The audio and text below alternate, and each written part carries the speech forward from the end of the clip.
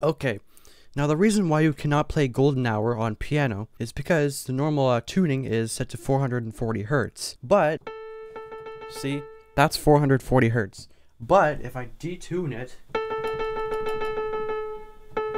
I've now detuned my piano to 432 hertz. And now, let's play it.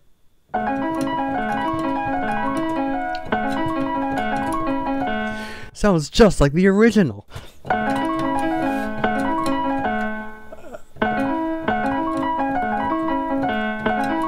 Ah!